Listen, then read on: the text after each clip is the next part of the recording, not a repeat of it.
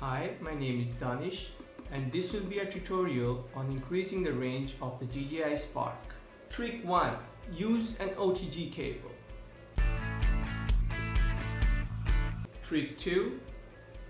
Switch your drone from CE to FCC mode to get the maximum range.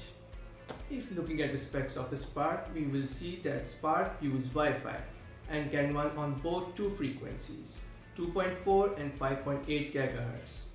In each frequency, DJI is divided into two standard FCC and CE.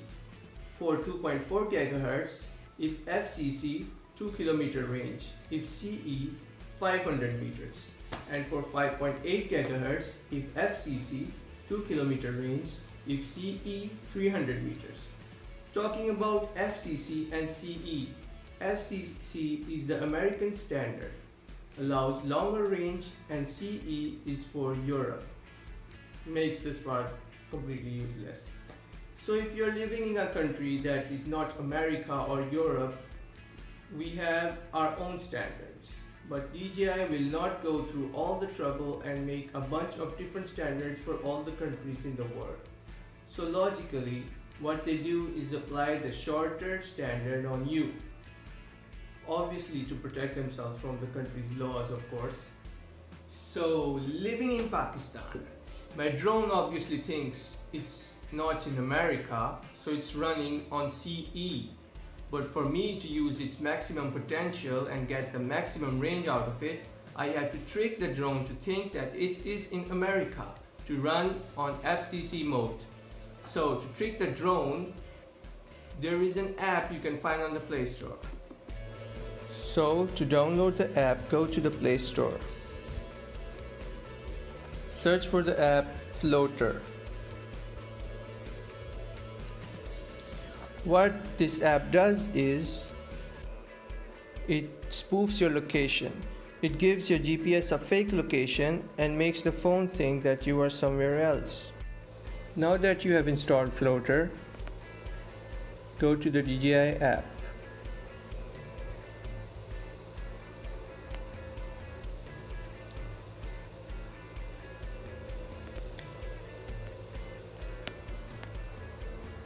In the app's Wi-Fi settings, you will see that you have a 13 channel in your channel in your Wi-Fi channels. So this means that your drone is on CE. For your drone to be on FCC, close the app, open Floater, set your location anywhere in America. For me, I will be selecting Ottawa. Press the play button your fake location has been set. Wait for it to reconnect.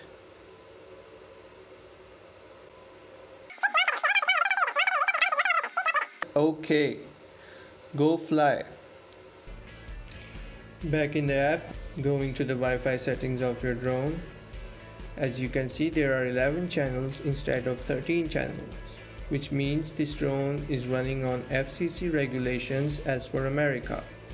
This gives you more range on your drone and more power for your Wi-Fi signals. Turn off floater. Now when you restart your drone, your location will be switched to the original location where you really are.